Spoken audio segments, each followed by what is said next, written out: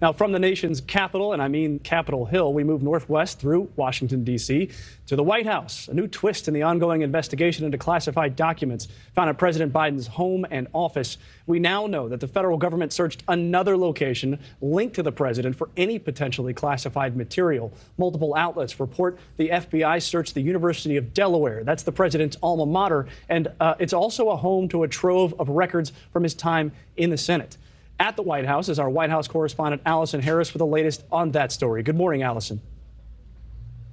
Good morning, Mitch. News Nation has not independently confirmed this reporting that the FBI has searched the University of Delaware for classified documents belonging to President Biden. The report does state that the search was consensual and it was coordinated with representatives for the president, and that some materials were taken to be further reviewed, but those materials do not have classified markings. Now, this morning, the White House is referring questions about this to the Justice Department as a DOJ special counsel investigation is underway. The president's personal attorney, who has been sharing some information about these incidents of documents being found, is not speaking about this this morning. Now, we do know that the president has donated papers, photos, videos, and other files from his decades as a senator to the school. That donation taking place more than a decade ago. They have not been made available to the public. Now, the website for the university says that the number of materials donated add up to about 1,800. We don't know whether those materials were of interest to the FBI, whether that was why this search was happening there. President Biden has delivered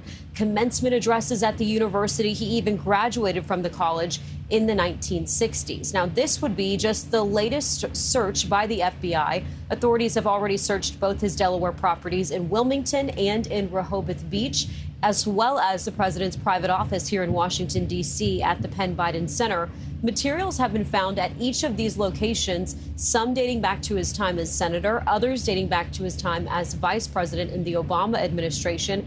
But classified documents in particular have been found only at his Wilmington home and his private office in Washington. Mitch? That's Allison Harris live at the White House. Certainly, the president has a lot on his plate. Thank you for watching. Go to newsnationnow.com to find News Nation on your television provider. And don't forget to click the red subscribe button below to get more of News Nation's fact driven, unbiased coverage.